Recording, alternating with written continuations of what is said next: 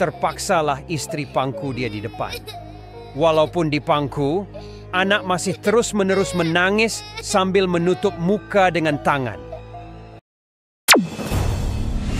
Selamat datang ke channel Teh Tarik Go, di mana kami membawakan kepada Anda alkisah cerita rakyat yang menarik dan original dari seluruh Borneo. Ikuti perkongsian berikut.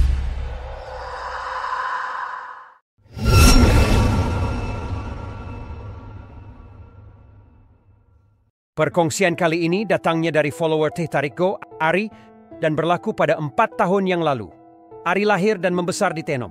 Dia bertemu pasangan hidup yang berasal daripada kota Belud dan dikurniakan seorang cahaya mata.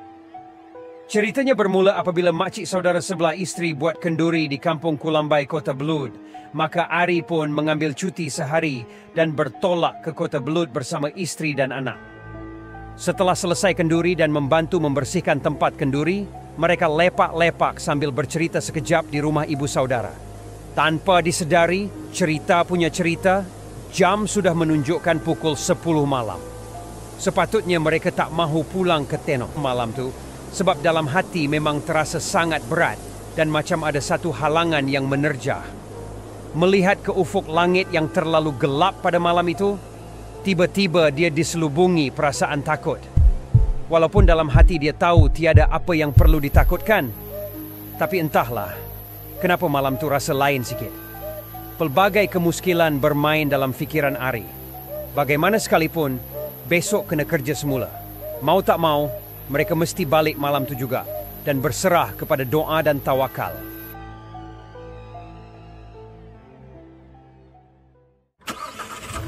Sekitar sepuluh setengah malam, mereka memulakan perjalanan dari kampung Kulambai kota Belud menuju ke Tenom.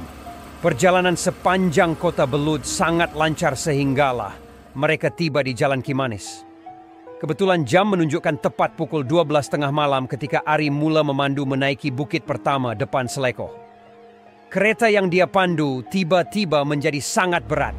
Masa itu, Ari tidak memikirkan apa-apa yang aneh menganggap itu perkara biasa untuk kereta Iswara 1.3. Memang tidak kuat naik bukit. Dia pun perlahan-lahan saja memandu sepanjang bukit.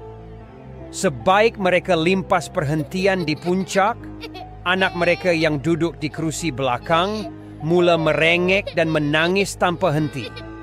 Dia tidak mahu duduk di belakang. Jadi, terpaksalah istri pangku dia di depan. Walaupun di pangku, anak masih terus-menerus menangis sambil menutup muka dengan tangan.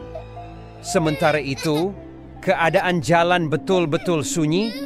Ari terhidu seperti bau hutan, seperti bau kulit kayu. Kalau yang biasa masuk hutan, memang biasa bau itu.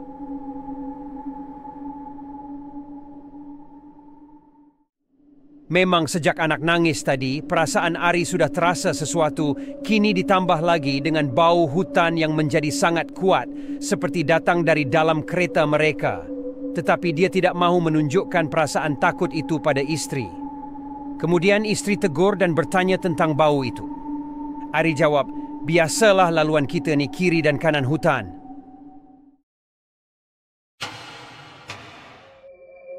Selekoh kedua menyusul dari jauh lagi. Ari ternampak macam ada satu benda berada di garisan putih tengah jalan raya. Dia memperlahankan kereta. Semakin dekat, semakin tinggi benda itu. Sehingga melebihi ketinggian sembilan kaki. Dia perlahankan lagi kereta. Setelah sangat dekat, Ari boleh nampak benda itu dengan jelas. Benda tinggi itu berdiri membelakangi mereka, mempunyai badan berbulu, dan kepala seperti kuda dengan bermulut panjang. Apabila Ari limpas, Ari menoleh untuk melihat dengan jelas. Benda itu tengok tepat ke arah Ari dengan mata berwarna merah. Lidahnya panjang dan terkeluar. Sebaik saja limpas kawasan itu, bau hutan serta merta hilang dan pemanduan berjalan lancar ke destinasi. Penampakan itu menyebabkan istri Ari demam panas manakala Ari sendiri turut demam selama lima hari. Lebih menakutkan, Ari juga didatangi oleh benda itu di dalam mimpi dua malam berturut-turut. Dalam mimpi itu, kelihatan makhluk tersebut membuka mulutnya yang mengeluarkan banyak bendalir hitam sambil mengangkat tangan melambai ke arah Ari. Kisah benar pencerita sampai di sini. Akhir sekali dari kami, dipercayai dalam sesetengah mitologi penampakan itu merupakan hantu hutan yang mengundangkan penyakit kepada sesiapa yang didekatinya. Malahan lebih dari itu, ia menunggu akan roh sesiapa sahaja untuk dibawa bersama ke alam kematian. Namun berkat doa, tawakal, dan sifat kewaspadaan yang ditunjukkan oleh Ari, mereka sekeluarga selamat. Sekian cerita untuk kali ini. Terima kasih yang tertinggi dari kami kepada yang follow, subscribe, like, dan share video ini. Kami membawakan kepada Anda cerita menarik dan original dari seluruh Borneo. Kongsikan pengalaman menarik Anda kepada kami untuk peluang mendapatkan cenderahati eksklusif daripada Teh Tarik Go.